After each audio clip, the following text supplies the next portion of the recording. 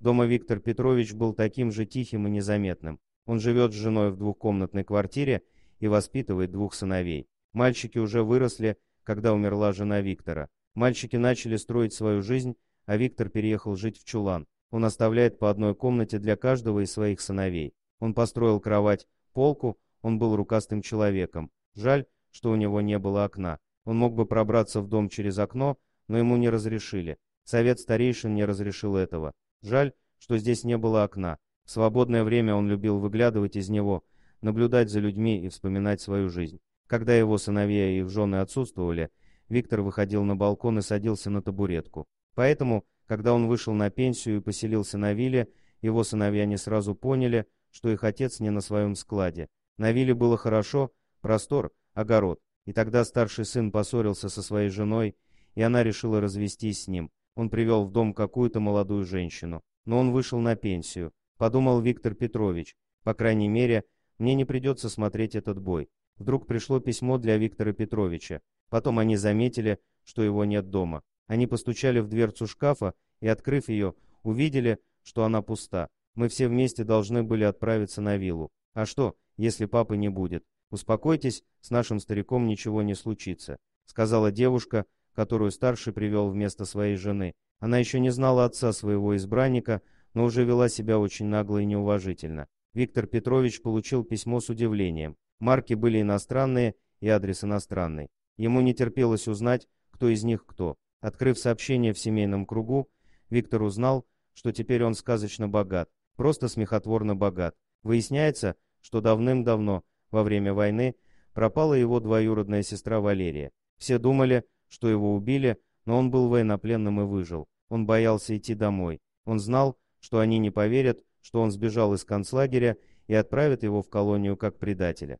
Жизнь сложилась так, что у Валерии нет ни семьи, ни детей. Концлагерь не прошел даром, но он скопил огромное состояние и завещал его Виктору. Старик не знал, что делать с деньгами, и внезапно умер в одиночестве, видимо, не сумев пережить свалившееся на него счастье, решили родственники. Они организовали похороны, привезли гроб на кладбище, поставили несколько стульев у могилы для прощания и последних слов. В тот момент, когда оркестр заиграл похоронный марш, раздался громкий взрыв. Гроб поднялся перед толпой. Осколки полетели во все стороны. Слава богу, никто не пострадал, только у толстяка сорвало шляпу. Что же там произошло? Вот что произошло. Получив наследство, Виктор Петрович начал потихоньку собирать документы, правильно оформлять бумаги. Теперь вечером у него было новое развлечение. Сидя на крыльце, он мечтал о том, что купить своим сыновьям. Какие квартиры и дома, машины. Его бывшая невестка, которой он хотел помочь.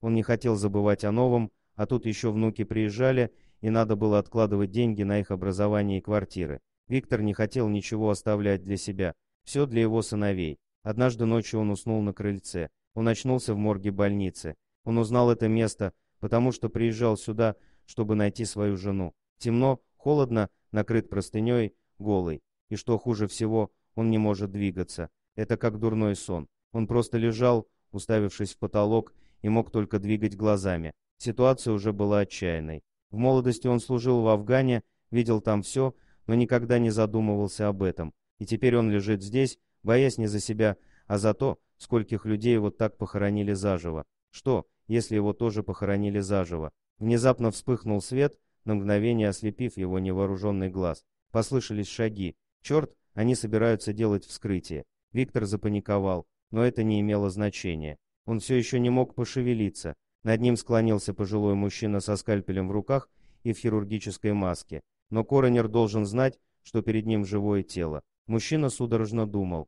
В конце концов, если он смотрит, думает, дышит, его сердце тоже должно биться. Доктор откинул простыню, посмотрел на лицо Виктора, повернулся, затем снова посмотрел. «Виктория, это ты». Врач снял повязку. Виктор часто моргал, чтобы дать понять, что он жив.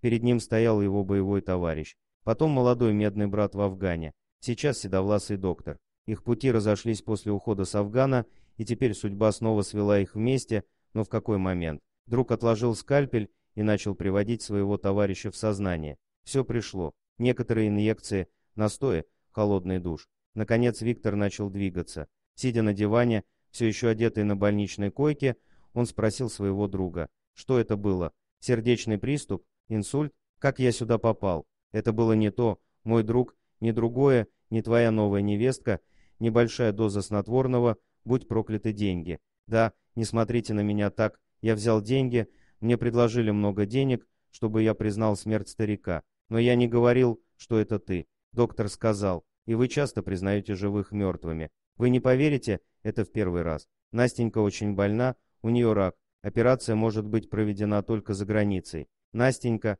да, Настенька, жена моя. Ты помнишь ее, сказал доктор, и его лицо озарилось невероятным сиянием. О боже мой, конечно, я помню ее. Молодая медсестра, как она. Виктор сказал, вы все еще вместе, а дети? Да, мы поженились в Афгане. С тех пор мы вместе, детей нет, Настена ранена. Друзья еще долго разговаривали, до самого утра, когда Витя почувствовал себя лучше. Затем доктор отвез своего друга к себе домой. Он не хотел идти к своей семье, которая предала его. В ту же ночь он задумал план мести. Не зря он был подрывником в Афгане. Здесь он был на похоронах. Тело находится в закрытом гробу по настоянию врача. Инфекция и все такое. Это к лучшему, подумал старший сын, чья новая интрижка затеяла всю эту историю. Он не мог смотреть на своего отца, он знал. Он крепко держал за руку свою жену, она долго была против, но деньги сделали свое дело. Все молчали до тех пор, пока гроб не взлетел на воздух. Старый подрывник Витя не собирался никого задеть, а хотел только напугать, а потому выбрал момент, когда нажал на пульт, чтобы никого не было рядом. Они с другом сидели в машине неподалеку. Дорогие друзья, если вам понравилось видео, поставьте лайк, а также подписывайтесь на канал, где найдете еще много интересного.